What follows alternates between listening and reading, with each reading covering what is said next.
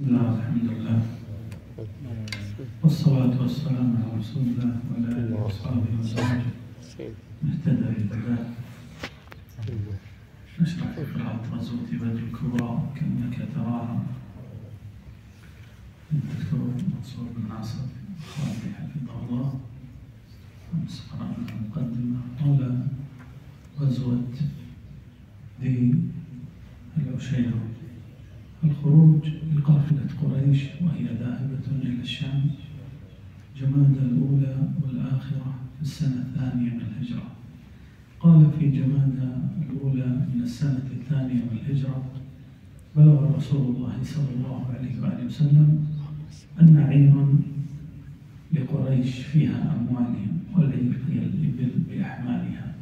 خرجت من مكة إلى الشام بقيادة أبي سفيان بن حرب وكان أبو سفيان يومئذ كافرا.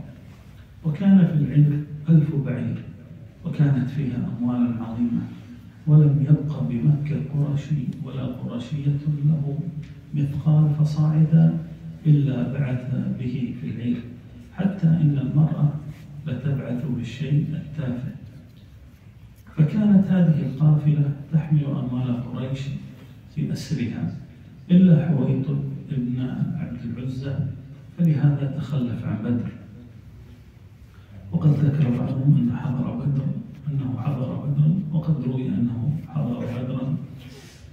فقال والله شهدت بدرا مع المشركين فرأيت عبرا فرأيت الملائكة تقتل وتأسر بين السماء والأرض.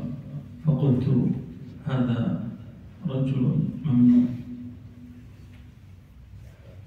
ذكره الحاكم في المستدرك. وكان مع أبي سفيان ثلاثون وأربعون ثلاثون أو أربعون رجلا. منهم مخرمة بن نوفل وعمرو بن العاص. فخرج رسول الله صلى الله عليه وآله وسلم في خمسين ومئة ويقال في مئتين من المهاجرين يعترضون هذه العير. ولم يكره أحدا على الخروج.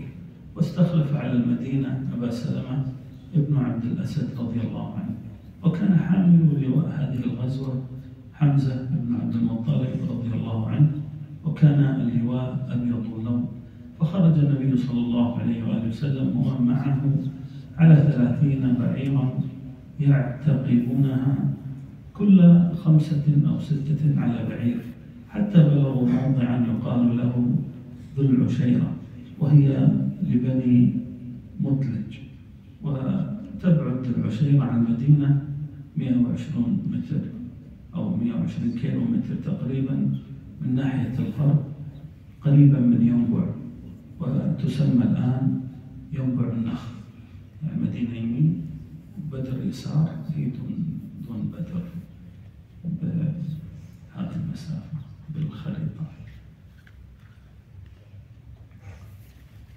فقام فأقام النبي صلى الله عليه وآله وسلم بقية جمادى الأولى وليالي من جمادى الآخرة وتبين أن العير قد فاتتهم بأيام فرجعوا إلى المدينة ولم يلقوا حربا وسميت هذه الغزوة بغزوة ذي العشيرة هذا صلى الله عليه وسلم. محمد وآخر دعوانا الحمد لله رب العالمين